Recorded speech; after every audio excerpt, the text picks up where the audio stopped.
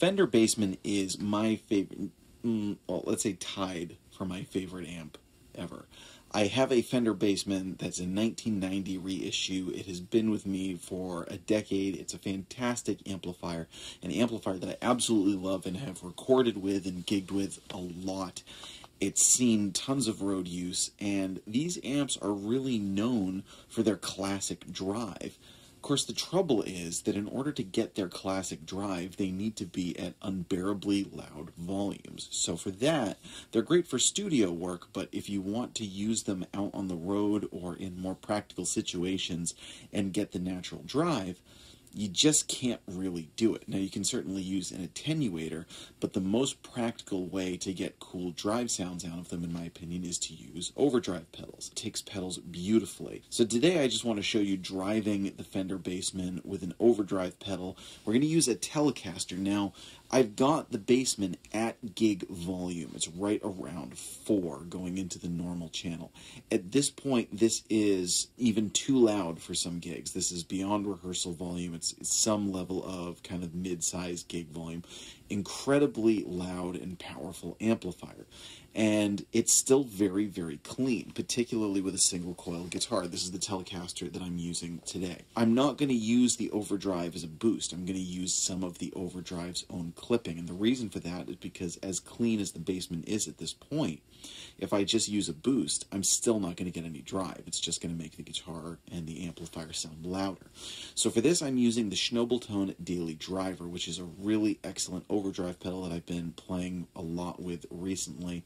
And I am going to use the clipping from the pedal itself. I'm going to start with it at a slightly more modest level. The drive's still pretty up. It's it's not a a crazy gainy overdrive pedal, so it has a lot of range to the gain. So I've got the, the drive knob up a bit, and then I'm also going to push the drive all the way up so that you can hear a couple of sweet tones at actual gig volume. I am also plugging in a Wampler reflection reverb just to add a little bit of air, but there's nothing else in the signal chain.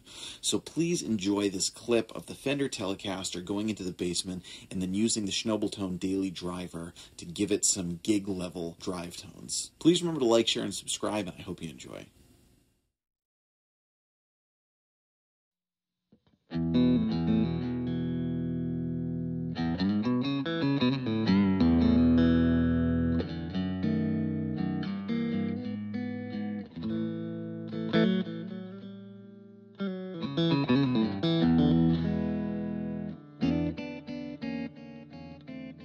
Thank